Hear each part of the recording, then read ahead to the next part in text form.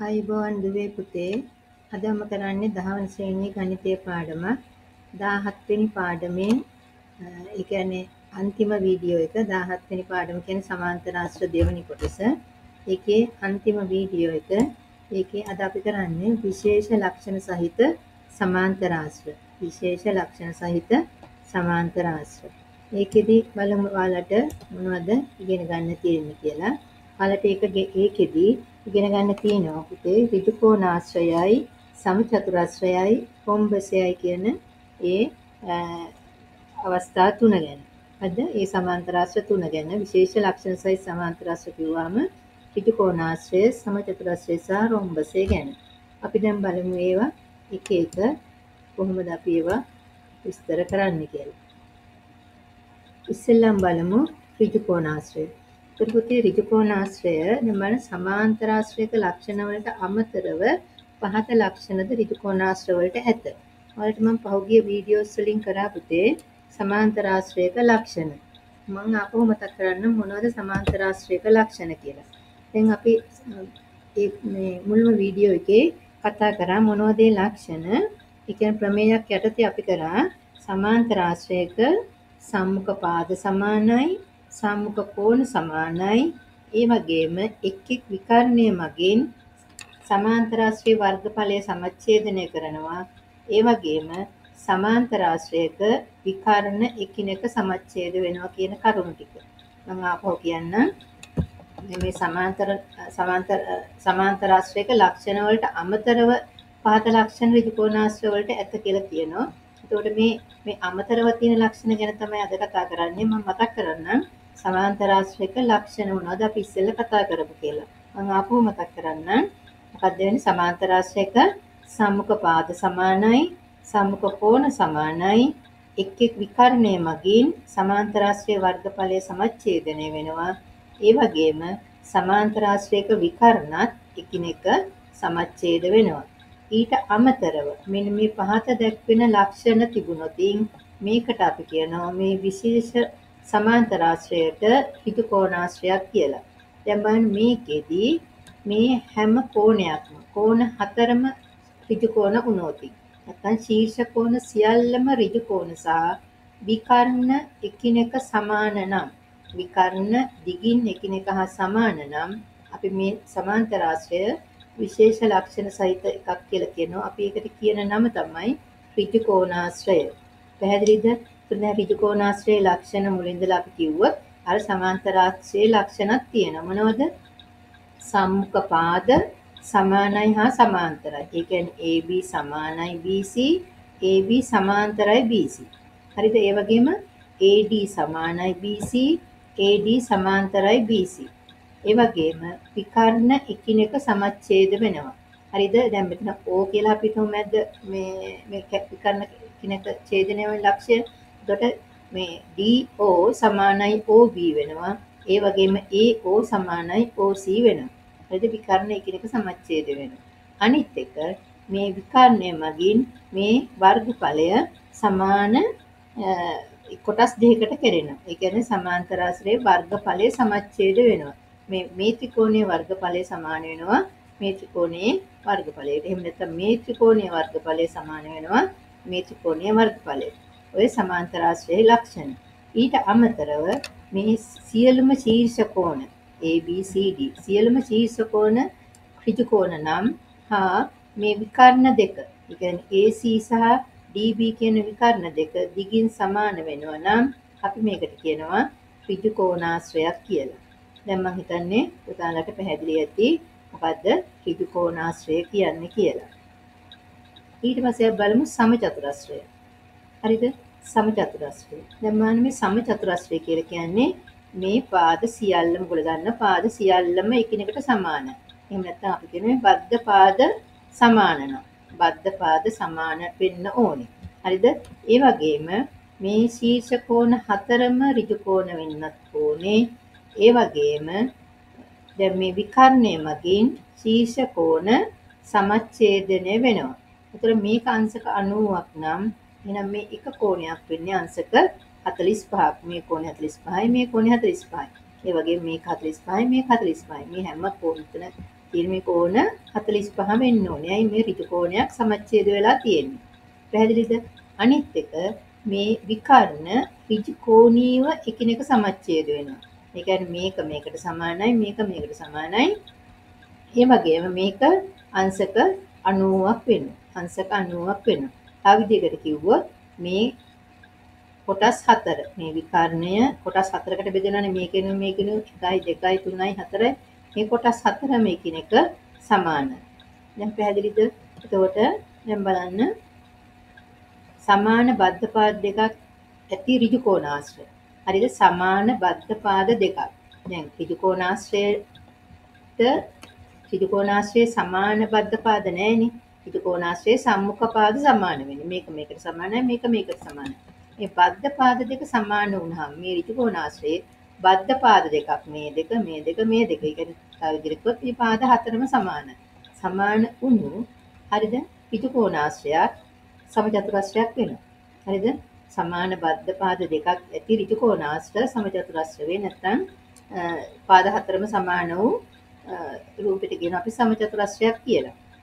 ඊට අමතරව පහත ලක්ෂණද සමචතුරස්‍රයක් සතුව පවතී. මොනවද? සියලුම පාද දිගින් සමානයි. පළවෙනි එක සියලුම පාද දිගින් සමානයි. ඊළඟට සියලුම sorry විකර්ණ ඍජුකෝණීව එකිනෙක සමච්ඡේද වෙනවා. විකර්ණ ඍජුකෝණීව එකිනෙක සමච්ඡේද වෙනවා. දැන් මම මෙතන මේ පාද හතරට ඕනම් මේක අයින් කළා ඔයගොල්ලන්ට මේ මේකම දාන්න පුළුවන් එකම පාටි. හරිද? එකම පාටින් දාන්න පුළුවන්. එතකොට ඒ කියන්නේ පාද හතරම සමානයි කියන්නේ. පැහැදිලිද?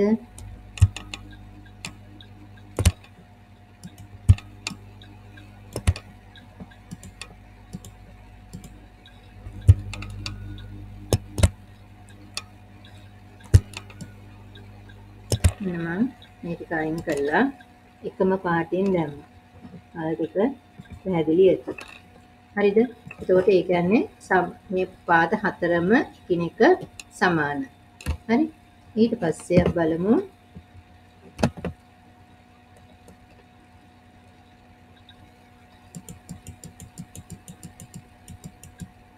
සියලුම පාද දිගින් සමානයි විකර්ණ ඍජු කෝණීය එකිනෙක සමච්ඡේද වෙනවා අනිත් එක ශීර්ෂ කෝණ විකර්ණ මගින් සමච්ඡේද වෙනවා දැන් අර මම කියපු කරුණු තුන මොනවද සියලුම පාද දිගින් සමානයි විකර්ණ ඍජු කෝණීය එකිනෙක සමච්ඡේද වෙනවා ඍජු කෝණ විකර්ණ මගින් සමච්ඡේද වෙනවා.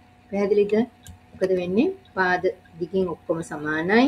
විකර්ණ ඍජු කෝණීය සමච්ඡේද වෙනවා. ඒ වගේම විකර්ණයකින් මේ ශීර්ෂ කෝණය සමච්ඡේද වෙනවා. ඒතර සමචතුරස්‍රයක ශීර්ෂ කෝණය සමච්ඡේද වුණාම මේක කෝණයක් අංශක 45ක් වෙනවා. එක කෝණයක් අංශක 45ක් වෙනවා. දැන් ඒක පුතාලට පැහැදිලි ඇති. ඔය සමචතුරස්‍රය ඊට පස්සේ රොම්බසේ බලමු. හරි රොම්බසේ කියලා කියන්නේ පුතේ මේ පාද හතරම එක සමානයි. සමචතුරස්‍රය වගේ පාද හතරම එක සමානයි. නමුත් මේක අංශක 90 වෙන්නේ නැහැ ශීර්ෂ කෝණයක්. හරි අංශක 90 වුණොත් අපි ඒකට කියන්නේ සමචතුරස්‍රයක් කියලානේ. අංශක 90ක් වෙන්නේ නැහැ. රොම්බසේ පාද හතරම සමානයි. කියන්නේ එතන මේ සම්මුඛ පාද සමාන්තරයි. ඒ වගේම මෙවන් සමාන්තරාශ්‍රයක පාද හතරම දිගින් සමාන නම් සමාන්තරාශ්‍රයක පාද හතරම දිගින් සමාන නම් අපි ඒවට කියනවා කොම්බස කියලා. හරිද සමාන්තරාශ්‍රයක් ගත්තොත් තින ලක්ෂණ මම ඔයාලට ඉස්සෙල්ලා කිව්වා. සම්මුඛ පාද සමානයි හා සමාන්තරයි. ඒ වගේම විකර්ණ සමච්ඡේද වෙනවා. ඒ වගේම දැන් මේකෙදි වෙන්නේ මොකද්ද?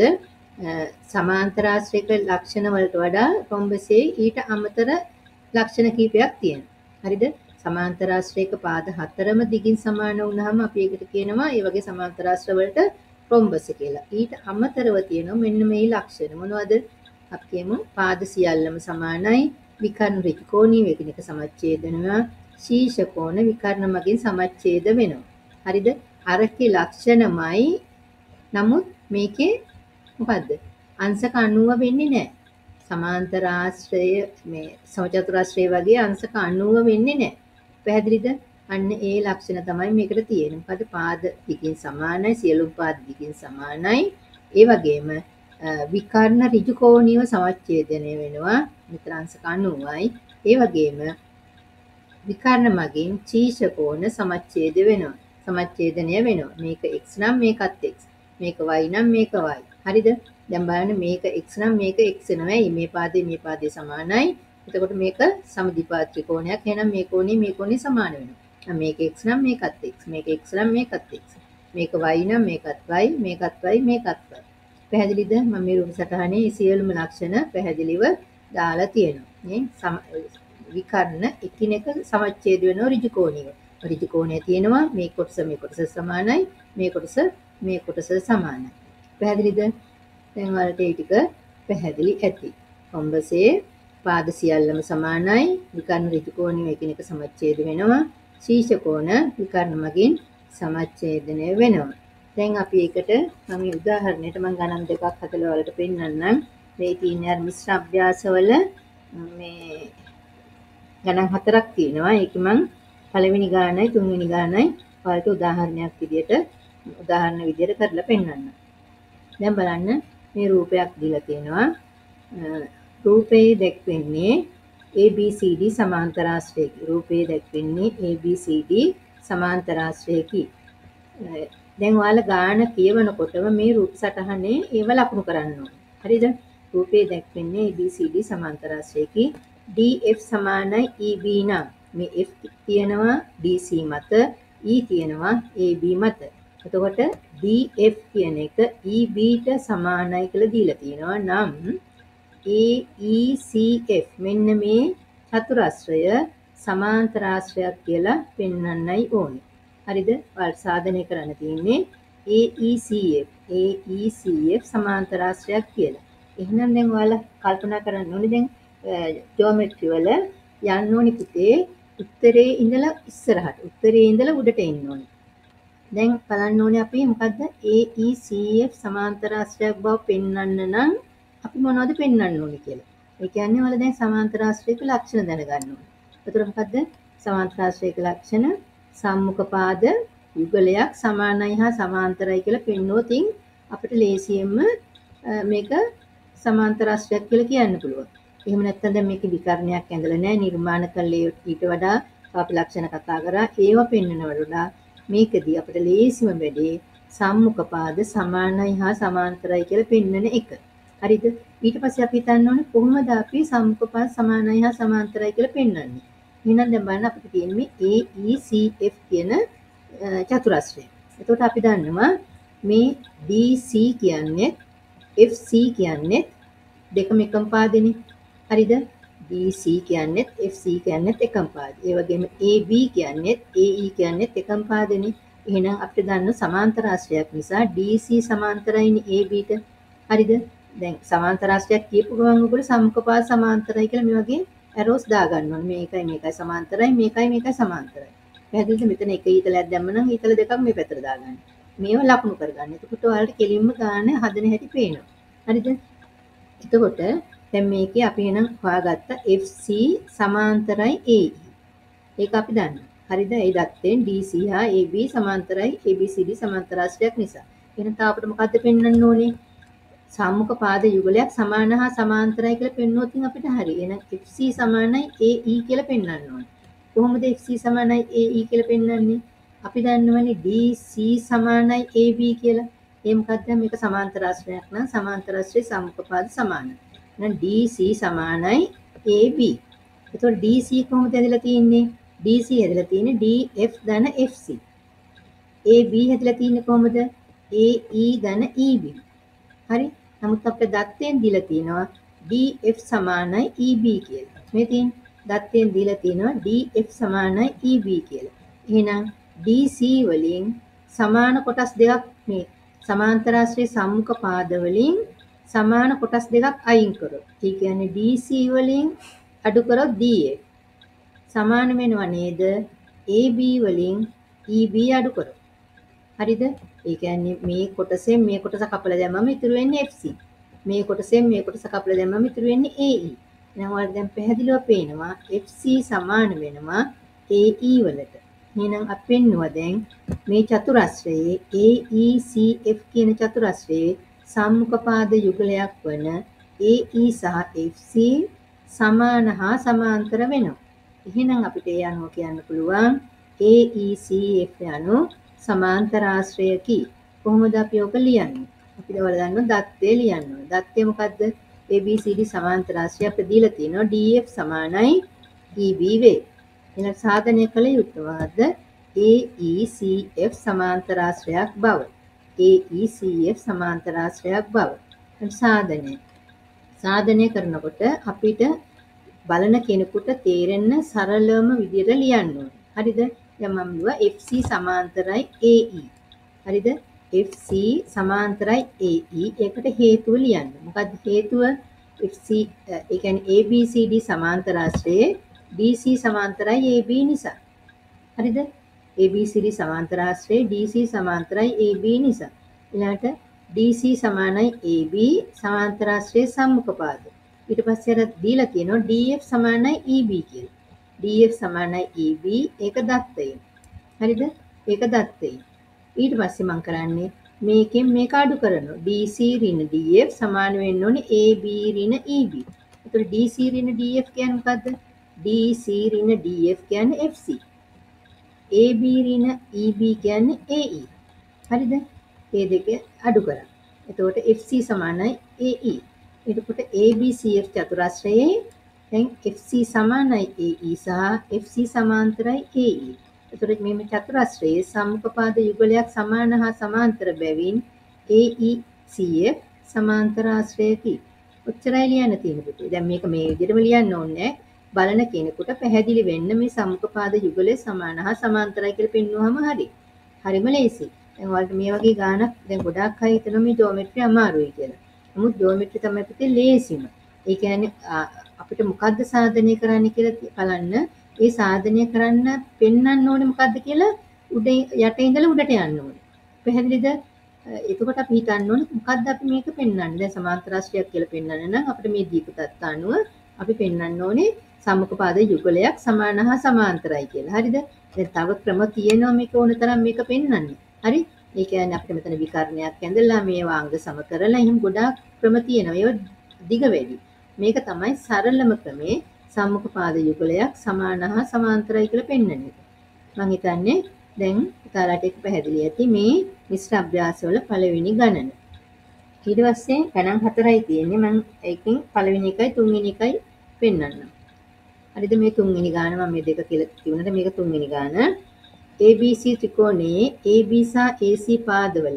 දැන් ඔයාලා ගාන කියවනකොටම රූප සටහන ඇඳ ගන්න. හරි? ගාන කියනකොටම රූප සටහන ඇඳ ගන්න. ABC ත්‍රිකෝණයේ AB සහ AC පාදවල මධ්‍ය ලක්ෂ පිළිවෙලින් x සහ y වේ. ඔන්න ABC ත්‍රිකෝණය මම ඇඳ. හරිද? ABC ත්‍රිකෝණයේ AB සහ AC පාදවල මධ්‍ය ලක්ෂ x සහ y වේ. එතකොට මධ්‍ය ලක්ෂ කියපු ගමන් මේ කොටස මේ කොටස සමානයි මේ කොටස මේ කොටස සමානයි කියලා ලකුණු කරගන්න. හරිද දැන් මම මෙතන මේ එක ඉරක් ඇඳලා මම මේ පාට දෙකකින් දාලා තියෙන්නේ. ඔයාලා දැන් පෑනින් හරි පැන්සලෙන් හරි අඳිනවා නම් මේක එක ඉරක් දැම්ම නම් මෙතෙන්ට ඉරි දෙක දෙක ගන්න. හරිද? මම මේ වෙන කලර්ස් නිසා මම මෙහෙම එක ඉරක් දැම්මේ. හරිද? එතකොට x සහ y කියන්නේ AB සහ AC වල මධ්‍ය ලක්ෂ්‍ය. ඊට පස්සේ මොකද්ද කියලා තියෙන්නේ? AB ට සමාන්තර ලෙස C හරහා සල රේඛාවක්. හරිද? ABට සමාන්තර ලෙස C හරහා ඇඳි. හරිද? ABට මෙතෙන්ට එන්න ඕනේ ABට මෙතන වැඩි හොඳයි BAට කියලා දැම්මනම් පුතේ. ABට කිව්වොත් මේ පැත්තටනේ ඇඳෙන්නේ. වැඩි හොඳයි මෙතන BA කියලා දැම්මනම්. හරි? BAට සමාන්තරව ඒ කියන්නේ B වල ඉඳලා Aට. BAට සමාන්තරව C හරහා ඇඳි රේඛාව මොකද්ද වෙන්නේ? දික් කරන ලද XY ZD හමු වේ. දික් කරන ලද XY රේඛාව ZD හමු වෙනවා. පැහැදිලිද? දික් කරන ලද XY රේඛාව ZD හමු වෙනවා. මෙන්න Z. XY දික් කරනවා B යට සමාන්තරව මේක අඳිනවා ඒක Z වලදී හම්බ වෙනවා. මොකද්ද අපිට පෙන්වන්න තියෙන්නේ සාධනය කරන්න තියෙනවා AXY ත්‍රිකෝණය. AXY ත්‍රිකෝණය අංග සමයි කියලා CYZ ත්‍රිකෝණයට මෙන්න මේ ත්‍රිකෝණ දෙක අංග සමයි කියලා පෙන්වන්න තියෙනවා. දෙවෙනි කොටස තියෙන්නේ PQRS තුන්වෙනි කොට තියෙන මෙතන මම අර ඉස්සෙල්ලා ගානේ මේ ටික කොපි කරලා ගත්තේ. මෙතන ඉන්න ඕනි පුතේ. මොකද්ද? BC ZX BC ZX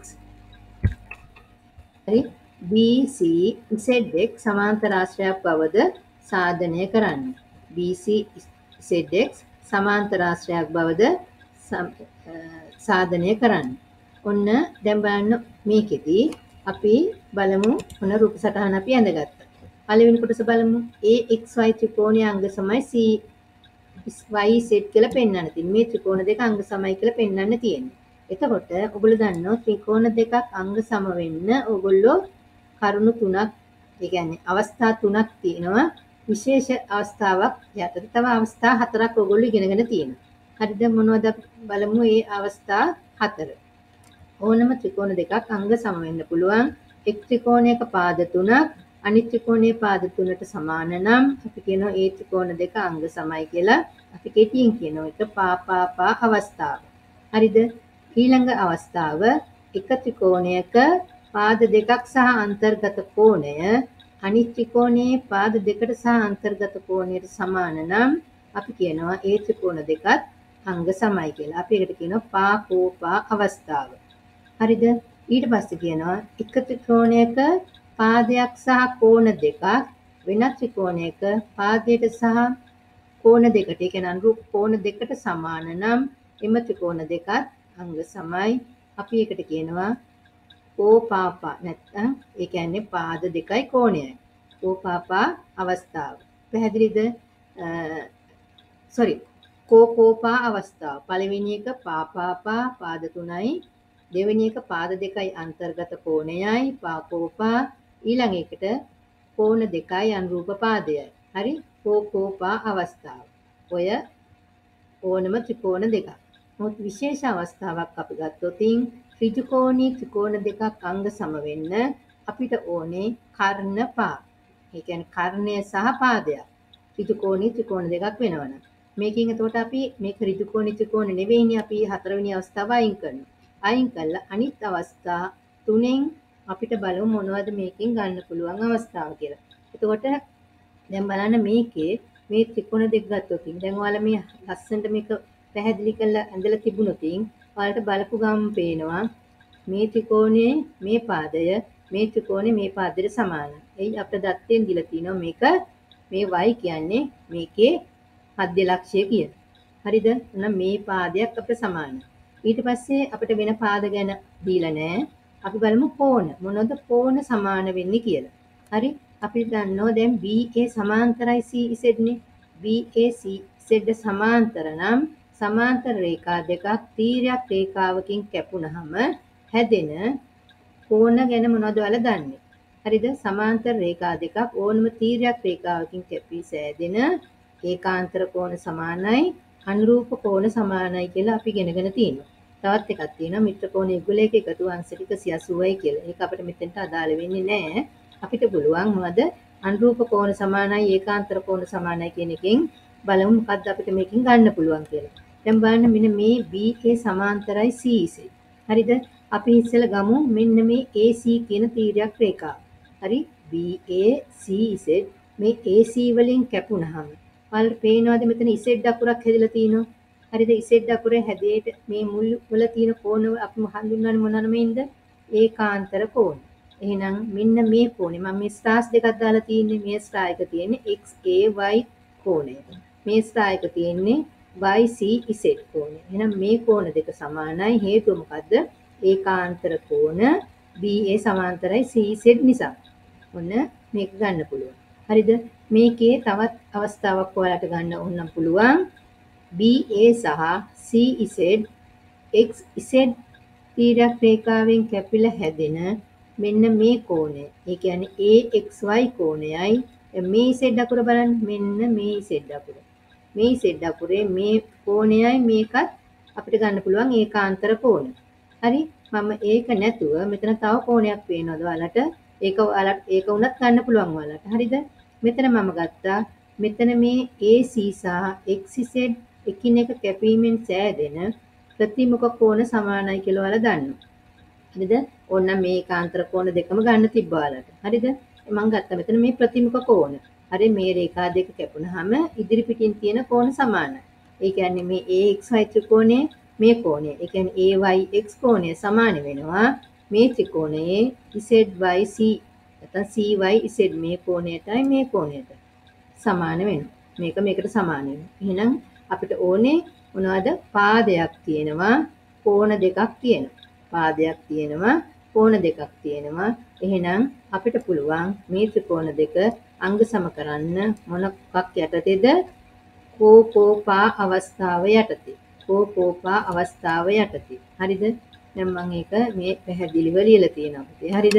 මේ ඔයාලා ලියනකොට අංග සම ත්‍රිකෝණ අංග සම කරන්නේ මොන ත්‍රිකෝණද කියලා ලියන්න උඩින්ම ඊට පස්සේ මුලින් ලියපු ත්‍රිකෝණයට අයිති අංග මුලින් ලියවෙන්න ඕනේ.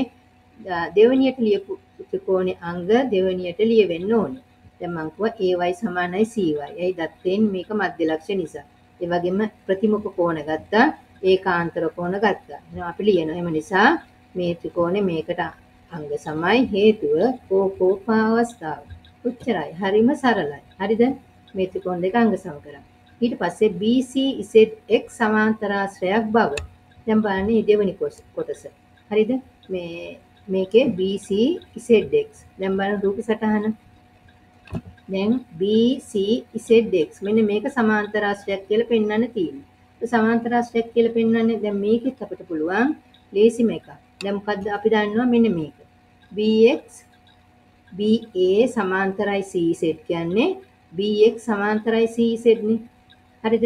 මේ BA කියන්නේ BX රේඛාවමනේ දික් කරලා තියෙන්නේ. නම් BC ZX චතුරස්‍රයේ BX සමාන්තරයි CZ. එහෙනම් අපි BX CZ සමානයි කියලා පෙන්වුවාම හරිනේ. කොහොමද අපි සමානයි කියලා පෙන්වන්නේ? අපි දැන් මේ ත්‍රිකෝණ දෙක අංග සම කරා. මේ ත්‍රිකෝණ දෙක අංග සම කරාම අපිට ලියන්න පුළුවන් ඒ අංග සම ත්‍රිකෝණවල අනුරූප අංග සමාන නිසා. හරිද? අංග සම ත්‍රිකෝණවල අනුරූප අංග සමාන නිසා අපිට ලියන්න පුළුවන් XA සමානයි CZ කියලා. ඒතර අනුරූපාංග කියන්නේ මොකද්ද?